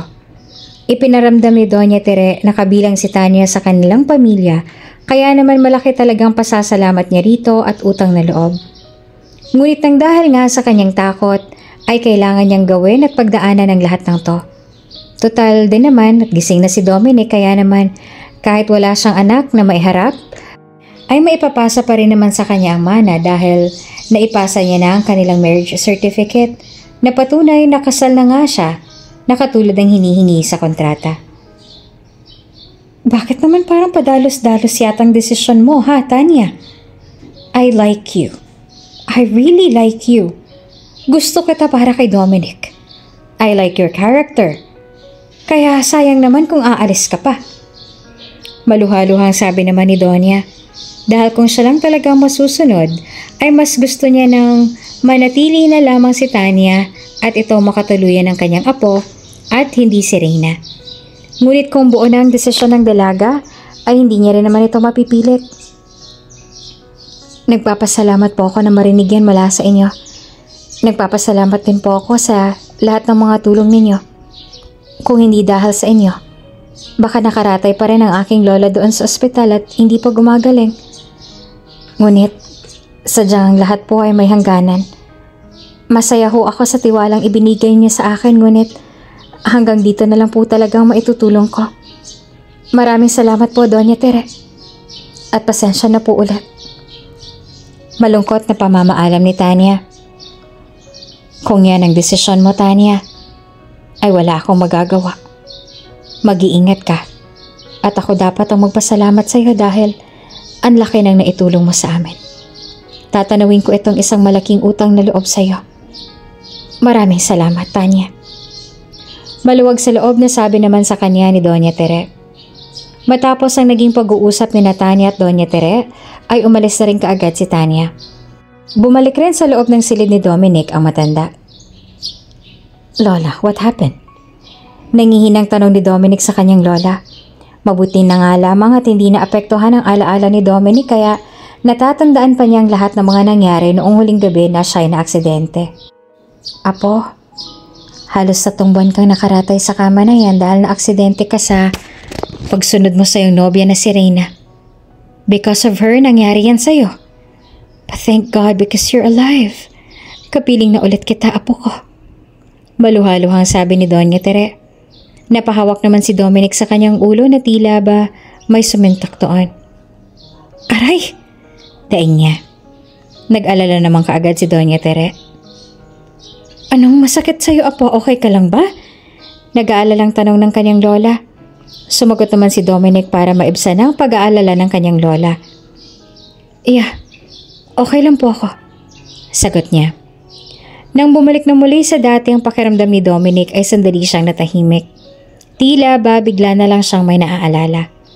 Matalim at malalim siyang nakatulala sa kawalan habang unti-unti niyang hinihila ang hinahawakan ng madiin ang kanyang kumot.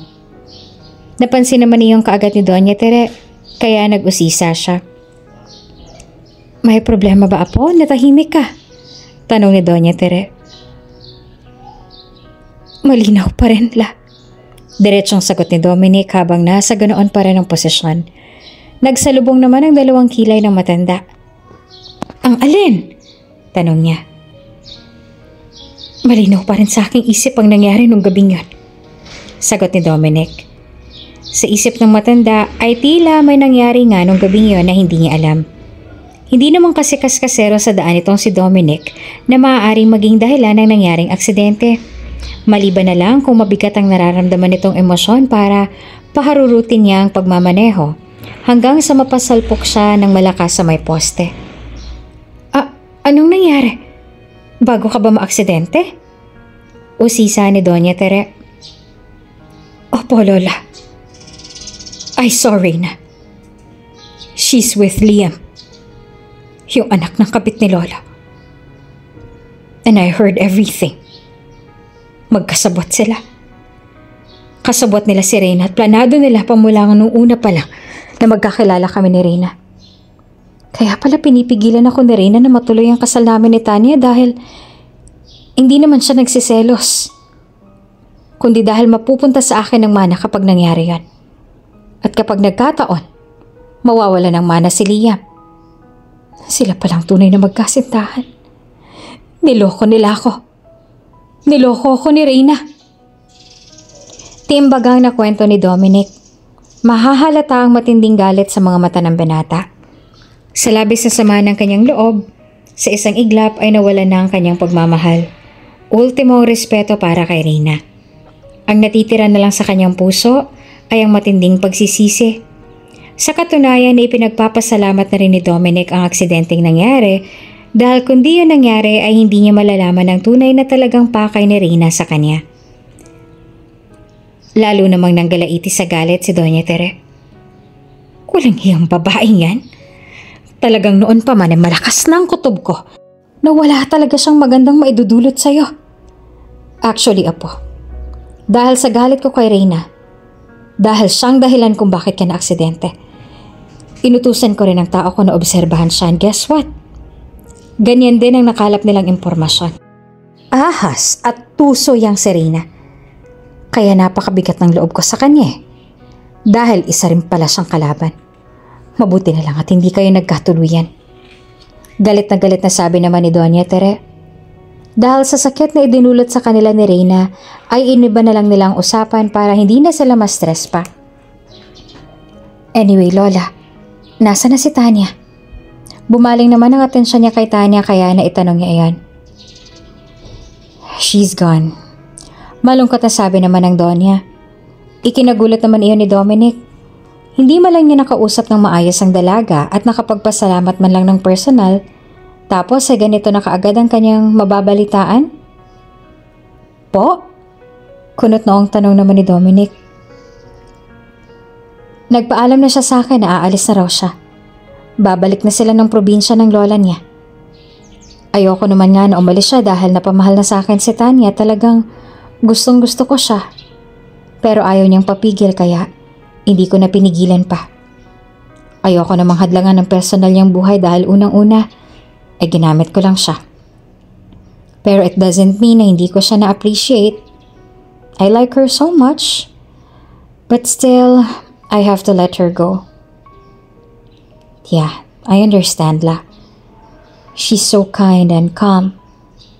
Sana pala'y kinilala ko muna siya at binigyan ng pagkakataon na makapag-usap ng maayos. Anyway, nakaraan na yan. Ang mahalaga ay nalaman natin ang tunay na kulay ni Reyna. At kailanman ay hindi hindi ko siya mapapatawad. Sabi naman ni Dominic.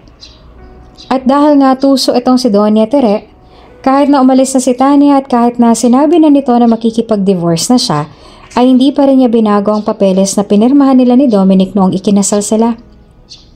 Kasal pa rin silang dalawa at hindi itinuloy na matanda ang pagproseso ng annulment paper ng dalawa. Naniwala kasi ang ginang na darating ang panahon na muling magkukrus ang landas nila ni Tanya at kailangang may alas pa rin siya pag dumating na ang araw na yon. Makalipas ang walong taon ay marami na ngang nagbago at nangyari. Napalipat na ang mana at kumpanya sa pangalan ni Dominic at nabahaginana na lamang ng kaunti ang kerida ni Lolo June at ang anak nito sa labas na si Liam.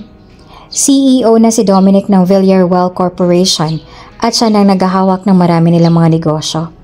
Hiniwalayan na rin ni Dominic si Reyna at hinayaang mapahiya dahil akala ng dalaga ay ganun pa rin si Dominic na madali pa rin mauto. Muli kasi niyang binibilog ang ulo nito nang wala na siyang mahita at mapala kay Liam kaya naman nung sinubukan niyang akitin muli at utuin si Dominic ay binaliwala na siya ng binata at pinagsalitaan pa ng mga masasakit na salita. Sa kabilang banda, habang nagpapahinga si Dominic sa kanilang garden, ay bigla namang tumunog ang kanyang messenger. Simula na maging busy si Dominic sa kanilang mga negosyo, ay naging madalang na rin ang kanyang pakikipag-socialize, personal man o sa social media. Hi Daddy, how are you? We are your twins. Chat ng kambal na sina Tio at Pia kay Dominic, sabay selfie pa. Nanlaki naman ang mga mata at kumunot ang noon ni Dominic dahil sa chat na iyon ng kambal. Alam niyang sikat siya at kilala siya at sa dami ng dummy account niya ay mga importanteng tao lamang nakakaalam ng tunay na account niya. Kaya naman laking gulat niya na may mag-chat sa kanya tapos ang tawag pa sa kanya ay daddy. Pigil-pigil nga niya ang kanyang mga daliri na mag-type kung re-replyan ba niya ang dalawa o hindi. Nagkaroon siya ng asawa noon ngunit nakipaghiwalay din sa kanya at sigurado siyang wala siyang anak doon dahil nang huli niya itong tinanong ay mariin itong pinabulaanan na buntis siya. Kaya naman paano siya magkakaanak kung wala naman siyang nobya? Who are they? Ch, for sure, poser na naman sila. Ana si Dominic sa kanyang sarili. Hindi na sana niya papansinin ang chat na yon nang mag-send pang dalawang makukulit na bata ng kanilang voice message. Daddy, we miss you! Wika ng dalawang bata sa voice message na tila nag-aagawan pa sa cellphone kung sino magsasalita dahil nagtatawanan pa sila. What the? May anak ako? Malakas na bulala si Dominic sa kanyang sarili na may pagtataka. Samantala, sa bukid na, ngayon nakatira si Natanya kasama ang kanyang lola Yoli. Kambal din ang naging anak niya kay Dominic at hindi maipagkakaila na mga anak yun ng lalaki dahil sa kamukhang kamukha niya si Pio. Mommy, kailan ba kasi namin makikilala si Daddy? Gusto na namin siyang makita at makilala. Pangungulit ng cute na cute na kambal sa kanilang ina. May maliit na negosyo na rin sila ngayon at yung 20 million na inoffer noon sa kanya ni Doña Tere ay hindi niya nakinuha dahil ayaw niya nang mag-iwan pa ng utang na loob sa kanila para makauwi sila noon sa kanilang probinsya na mapayapa at wala nang iba pang iniisip. Meron na rin silang maliit na negosyo at may maayos na rin na tirahan. Malaki nga ang ipinagbago ngayon ng estado ng pamumuhay ni Natanya dahil kung noon ay di pa na sila sa paghahanap ng mauutangan, pambili ng gamot. Ngayon ay halos nabibili na rin nila ang kanilang mga gusto, lalo na ng pangangailangan ng kambal na sina Pio at Pia. Pio, hindi pa handa si mommy eh.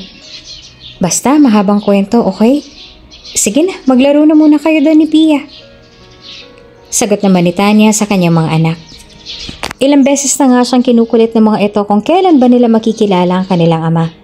Hindi naman nilihim ang tunay na pagkakakilala ni Dominic sa kambal dahil kahit baligtarin man ang mundo ay lalabas at lalabas pa rin talaga ang katotohanan na si Dominic na ang tunay na ama ng mga bata. Kaya naman maging ang tunay at buong pangalan ni Dominic ay alam rin ng mga bata.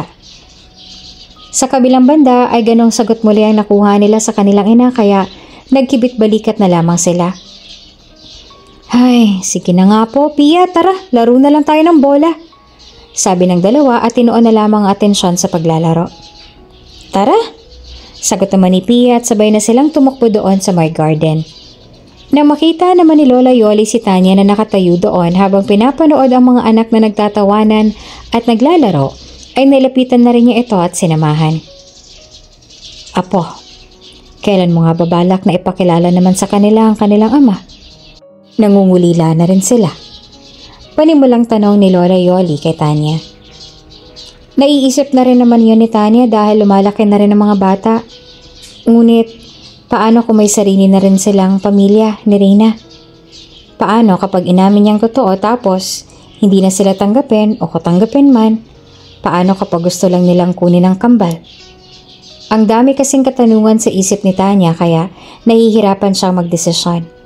Kaya hindi rin siya masisisi ng kanyang lola Yoli kung bakit umabot ng walong taon ang kanyang pagtatago. Iyon ay dahil sa takot na kunin sa kanya ang kanyang mga anak na hindi niya makakaya na mawalay sa kanya. Eh, Lola, sino ba naman po ang may ayaw na magkaroon ng buong pamilya?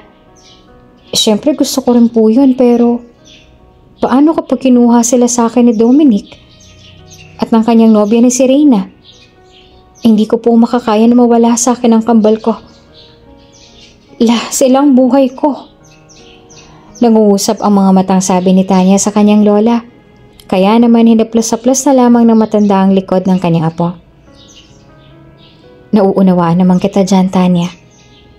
Pero sa tingin ko naman ay mabait si Sir Dominic. Baka naman mali lang ang naging rinig mo. At iba nga sabi mo, sobrang bait sa'yo ni Doña Tere at tanda ka talagang ipaglaban. Oh, siguradong hindi yun papayag na mapupunta mga bata doon sa reyna na sinasabi mo. At saka bakit ka ba nag-aalala? Eh, ikaw ang kanilang ina. Sa'yo nang galing ang kambal kaya ikaw ang may karapatan sa kanila. Nauunawaan mo? Kasi alam mo Tanya, hindi ka titigilan ng dalawa na yan lalo pat matatalino silang bata. Kaya kung ako sa'yo, ay pag-isipan mo na yan at magdesisyon ka na. Lakasan mo lang ang loob mo. Andito lang ako para sa'yo. Buong puso namang sabi ni Lola Yoli na talaga namang na-appreciate ni Tanya. Samantala, sa mansyon naman ay ilang araw pa rin iniisip ni Dominic ang mensaheng kanyang natanggap mula sa kambal. Bigla siyang nagkaroon ng hinala na posibleng nagkaanak nga siya kay Tanya na maaaring inilihim lang nito sa kanila.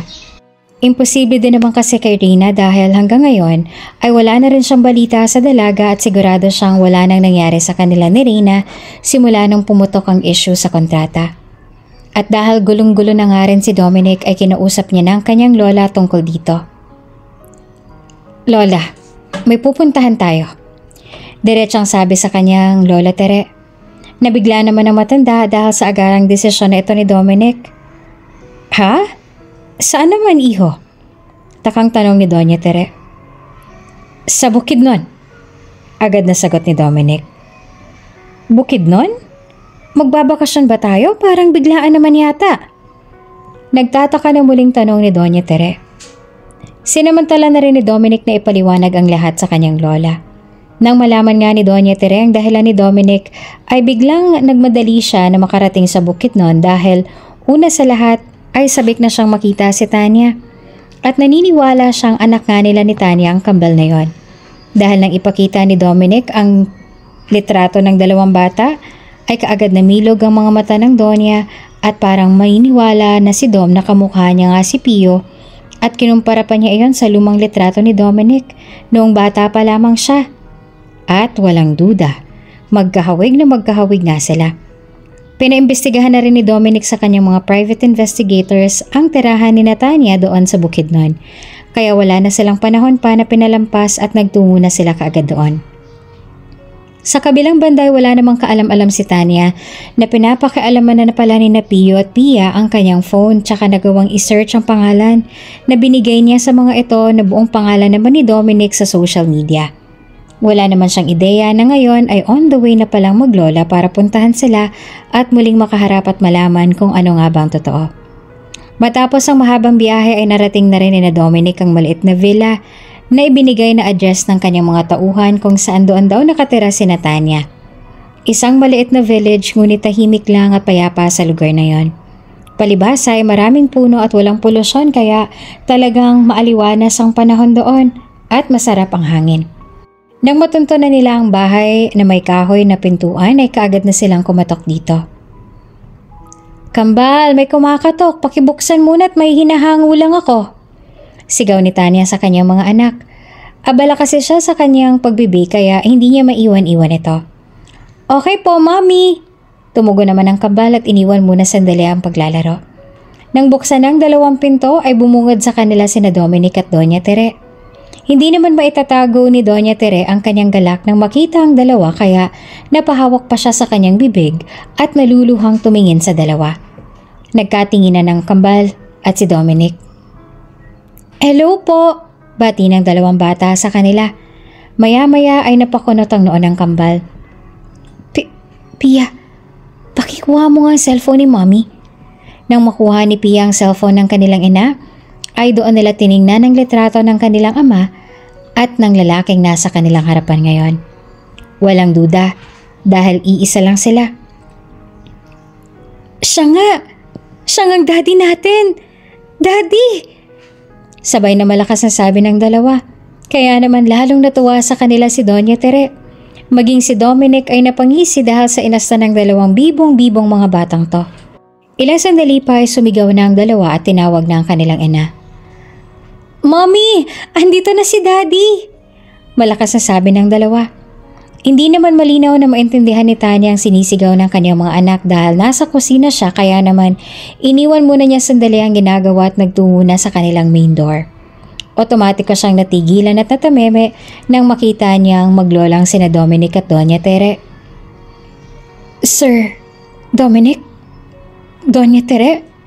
Gulat na tanong ni Tanya. Sa halip na bumati muna ay nag-usisa na kaagad si Doña Tere. Tanya, bakit nila tinawag na daddy si Dominic? Oh my. Don't tell me, Tanya. Wika niya tsaka biglang natigilan. Mahabang kwento po, Doña Tere, pero sa tingin ko po ay dapat nyo nang malaman. Lakas loob na sabi naman ni Tanya tsaka pinapasok na rin sa loob ang dalawa. Nang makarating sila sa sala ay nakiusap muna si Tanya sa kanyang lola Yoli na ilayo muna ang dalawang bata dahil mag-uusap muna sila. Lola, makikidala muna po sa kambal sa may garden.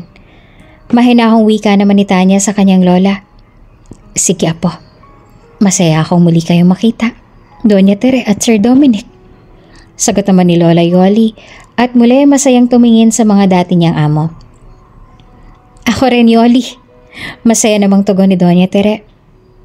Ali kayo mga apo at may pag-uusapan lang silang importante. Yaya ni Lola Yoli sa mga bata. Bago umalis ay muling nagsalita ang kambal. Daddy, wag ka nang aalis ha. Magpe-play pa tayo pagkatapos niyo dyan. Sabi ni Pio sa kanyang ama na para bang matagal na silang nagkakasama at parang close na close na silang dalawa. Napangisi naman si Dominic at sinakyan na lamang ang sinabi ng dalawa. Sige, utal niyang sagot. Nang maialis muna doon ang kambal ay nagkatitigan muna silang tatlo ng ilang segundo. Maya-maya pa ay nagtanong na muli si Doña Tere.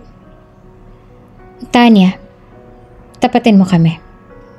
Sino ang kambal na yon? At bakit tinatawag nila na daddy itong apo ko? Tanong ni Ginang. Sila po sina Pio at Pia. At sila ay... Sila ay mga anak mo, Sir Dominic.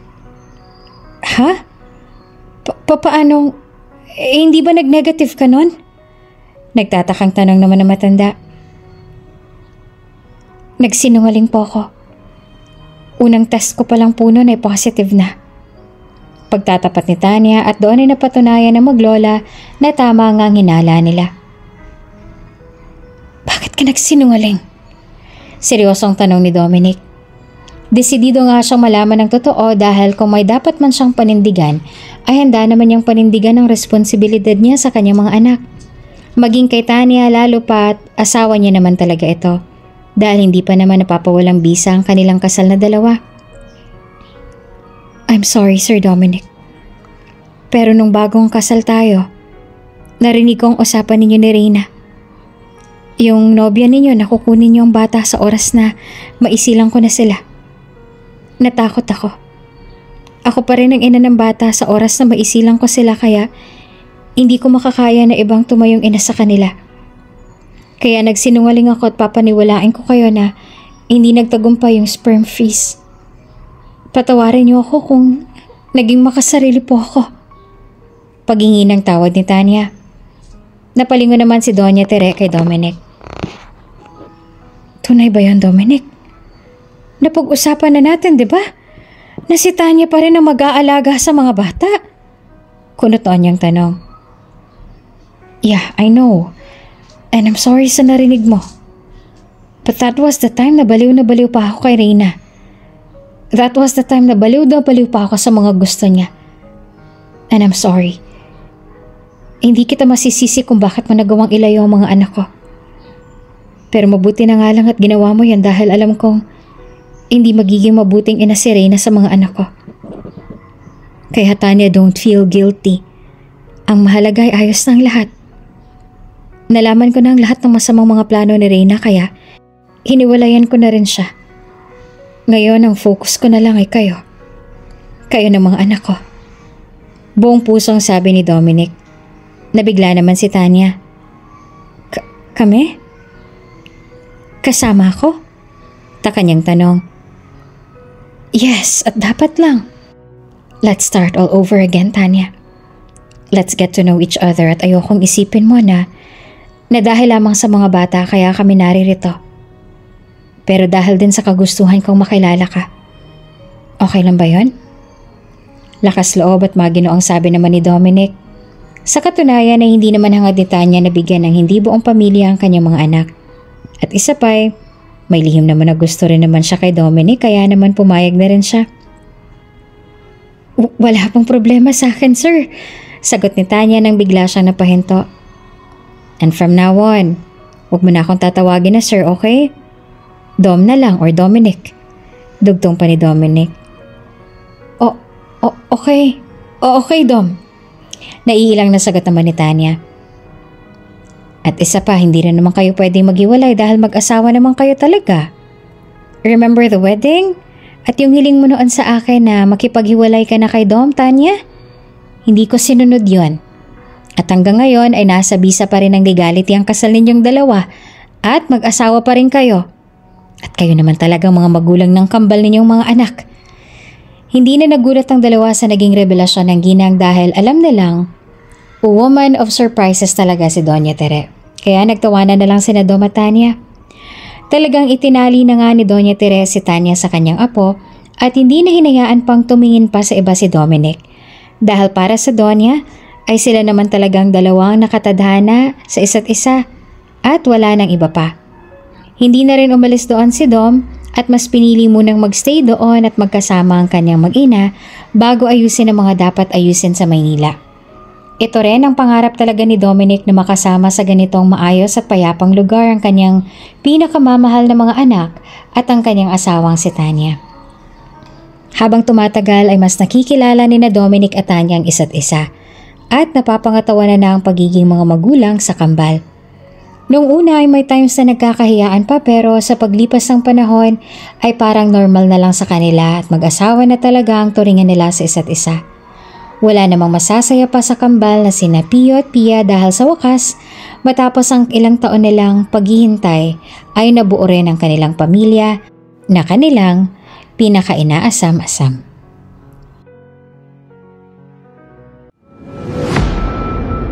Kung bago ka pa lang sa channel na ito, Ate Chain TV, huwag kalimutang pindutin ang notification bell and subscribe button. Sana po hindi naman malaking abala sa inyo ang pagpindot ng subscribe button dahil ang kapalit po nito ay ang pagsuporta para makapag-produce ng mga libreng stories sa mga channels ni Ate Jane. Maraming salamat!